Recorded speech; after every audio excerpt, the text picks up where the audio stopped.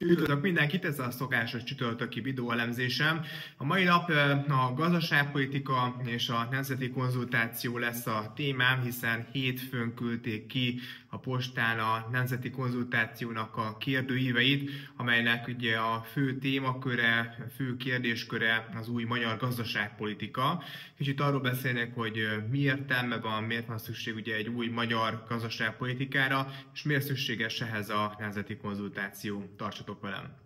Ja, gyakorlatilag mindenki érzi a hétköznapok során, látjuk a gazdasági mutatókból és a gazdasági adatokból is, hogy a 2020-as koronavírus járvány, illetve a 2022-ben kitört orosz-ukrán háború óta, hát nem olyan a gazdasági helyzet, mint azt megelőzően. Ha visszagondolunk, 2020 előtt magas gazdasági növekedés volt, gyakorlatilag azt lehetett érezni, hogy a gazdaság az olyan irányba megy, ami egy pozitív irány, és azért mindenki azt érezte, hogy egyről a kettőre lehet lépni. Ez 2020-ban megszakadt egy teljesen más, gyökeresen új globális környezet van jelen pillanatban, mint 2020 előtt. Tehát érezzük azt, hogy megváltozott a globális környezet, megváltozott ebben Magyarországnak is a pozíciója, és hát értelemszerűen egy megváltozott környezethez, egy megváltozott helyzethez új gazdaságpolitikára is szükség van, tehát alkalmazkodni kell a megváltozott környezethez, meg kell alakítani, vagy át kell alakítani abba az irányba a magyar gazdaságpolitikát is, ami ismét visszavezeti Magyarországot arra a növekedési pályára, arra a magas gazdasági növekedési pályára, mint ami a 2020-as időszak előtt jellemezte Magyarországot. Ugye érdemes megnézni azt, hogy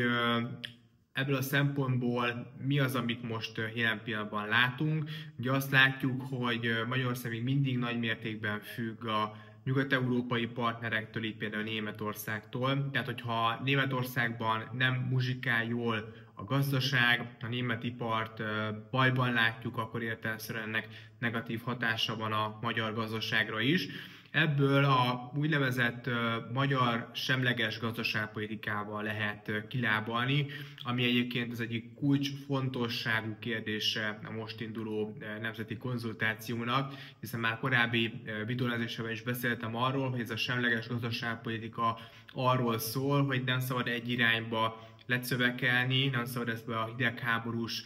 gazdasági hidegháborús gondolkodásmódba beleállni, hanem bizony nyitni kell kelet fele is, fenn kell tartani a gazdasági és kereskedelmi kapcsolatokat Oroszországgal, Kínával, a dél-kelet-ázsiai térséggel is, annak ellenére, hogy most azért az Európai Unió ugye szankciókat vett ki Kínával szemben is, ugye Oroszországgal szemben már régóta fent vannak a szankciók, tehát ennek ellenére is Magyarországnak nyitnia kell, és semleges gazdaságpolitikát kell folytatnia, mert ez eredményezheti azt, hogy a magyar gazdaság sikeres lehet a jövőben. Ennek értelme, értelmeszerűen ennek köszönhetően, hogy az egyik központi kérdéskör a semleges gazdaságpolitika, ugye a mostani nemzeti konzultációban dönthetnek a magyarok arról, hogy Magyarország támogassa azt a kereskedelmi háborút, amit ugye az Európai Uniónak a vezetése indított a keleti országokkal szemben. Ugye kérdéseknél ott van, hogy támogatják-e a magyarok a multiknak a rendszabályozását, de szó van a nemzeti konzultációban a fiataloknak szánt munkáshitelről, lakhatási támogatásokról, arról, hogy a 13. havi nyugdíjat állandósítsák-e a jövőben, a családtámogatási rendszernek a bővítéséről is szó van benne, de szó van benne egy béremelési programról, arról is, hogy ellenálljon-e Magyarország a brüsszeli büntetésnek, ugye, ami azért lett kiszabva Magyarországra, mert Magyarország nem halandó befogadni a migránsokat. Tehát nagyon sok ilyen típusú kérdésről van szó, és ezek a mostani célkitűzések, ezek a mostani az új magyar gazdaságpolitikának az alapjait jelentő célkitűzések ahhoz hasonlíthatóak, mint amelyek ugye a 2010-es kormányváltás és a 2008-as gazdasági világválság után is meghatározták ugye a magyar gazdaságpolitikának a fő irányvonalát, a kérdésköreit, hiszen akkor is egy új útra kellett terelni a magyar gazdaságot, tehát 2008-as gazdasági világválság volt egy ilyen trendfordító, sorsfordító helyzet, ezt követően ugye a 2010-es kormányváltás jött, és ki kellett alakítani az új magyar gazdaságpolitikának az alapjait. Most hasonló fordulóponthoz érkeztünk a járvány és a háborúk következtében, Ami eddig működött, az más már láthatóan nem jó, nem csak Magyarországon, hanem az Európai Unióban is. Egy új irány kell, egy új gazdaságpolitika kell, és ennek az alapjait fekteti le a mostani nemzeti konzultáció, amely egy támogatást, egy erősítést adhat a magyar kormányzati célkitűzéseknek. Csak kicsit beszélnek a nemzeti konzultációról, hogy mégis ez micsoda, mióta egy olyan eszköz, amit alkalmaz a jobb oldal Magyarországon. Nagyon fontos hangsúlyozni, hogy a nemzeti konzultációt már ellenzékben alkalmazta Orbán Viktor, tehát a 2005-ös országértékelő beszédében használta először ezt a kifejezést, akkor azt mondta, hogy a 2006-os parlamenti választásoknak úgy akar nekifutni, hogy a tervezett lépéseit a választópolgárokkal folytatott párbeszéd alapján építi majd fel. És ugye a Nemzeti Konzultációs Testületet hozták akkor létre, 2005. március 9-én tartotta az alakuló ülését, ez egy 8 tagú testület volt egyébként, és ennek a szóvivője Kudlik Júlia televíziós híresség volt, és hát az akkori országjárás és a testület tagjának a munkájának köszönhetően 700 településre látogattak el, és 1,6 millió ember véleményét kérték ki személyesen, telefonon, illetve levelek útján, és hát értelemszerűen a Fidesz KDNP-nek a választási kampányában a konzultáció eredményeire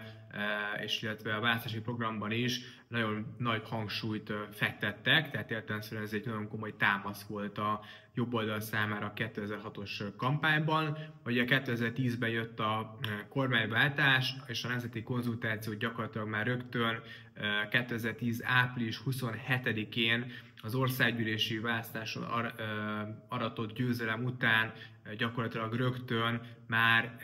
visszahozta a magyar kormányfő, tehát már a választási győzelmet követően egyértelművé tette, hogy a nemzeti konzultációnak az intézményét visszahozza, és deklaráltan az lesz a célja a jövőben is, hogy az ország vezetői és választópolgárok egy intenzív kapcsolatot tartsanak fel, fent, és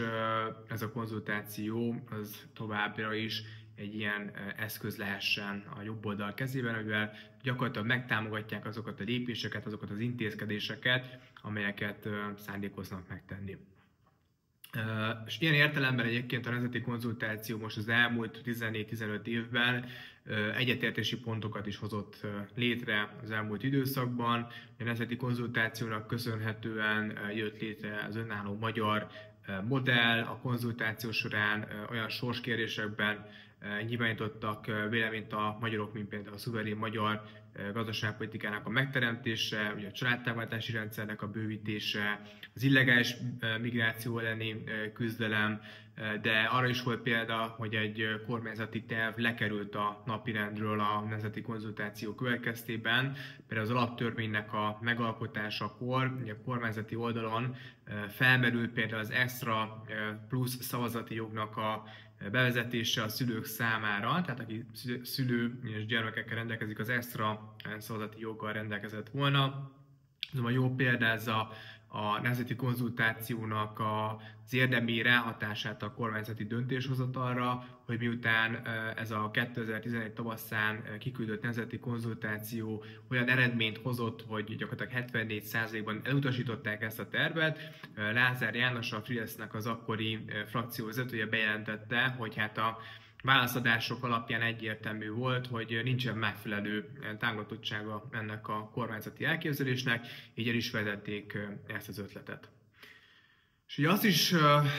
azt is jól példázza, jól mutatja, hogy mennyire sikeres a nemzeti konzultáció, hogy ugye még a 2010-es kormányváltás után kezdetben ugye felesleges pénzkidobásnak tartotta az ellenzék ezt a kapcsolatteremtési formát, az utóbbi években több ízben is igyekeztek ezt lemásolni. A jobbik például 2016-ban valódi konzultáció néven postázott ki kérdőíveket a választóknak, mint fogalmaztak azért, hogy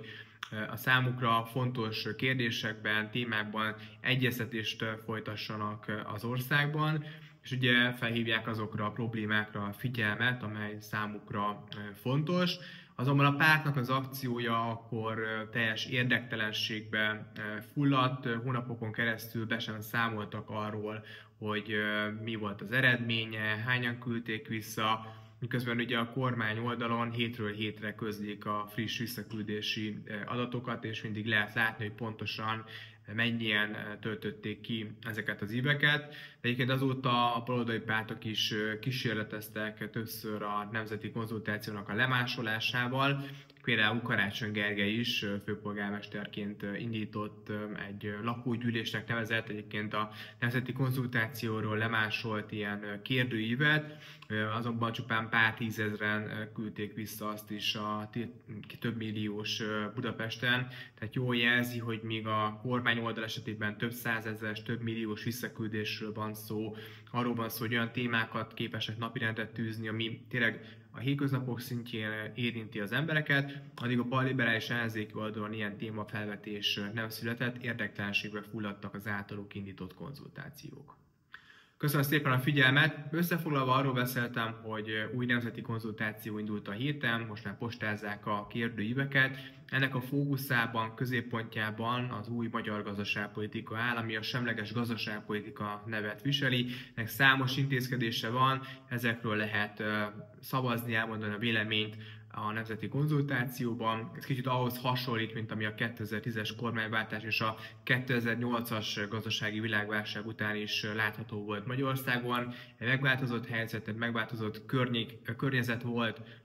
az egész Európai Unióban, a világon, és hát értelemszerűen ehhez át kellett alakítani a magyar gazdaságpolitikát. Most a járvány és a háború miatt ugyanilyen változtatásra, ugyanilyen átalakításra van szükség, egy új magyar gazdaságpolitikára van szükség, és ahhoz, hogy ez sikeres legyen, és meglegyen a támogatás mögötte, egy ilyen nemzeti konzultációt nyitott a kormány. Tehát én is arra biztatok mindenkit, aki csak tudja, azt töltse ki. Köszönöm szépen a figyelmet, jövő héten újabb videólenzéssel jelentkezem, mindenkinek kellemes hétvégét kívánok majd.